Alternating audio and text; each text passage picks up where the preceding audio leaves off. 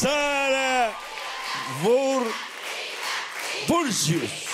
Gius, é isso?